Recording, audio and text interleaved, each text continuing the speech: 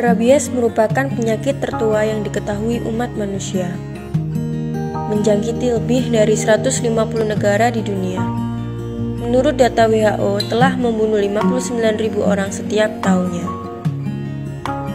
Angka kematian akibat rabies di Indonesia sekitar 100 hingga 150 orang tiap tahun.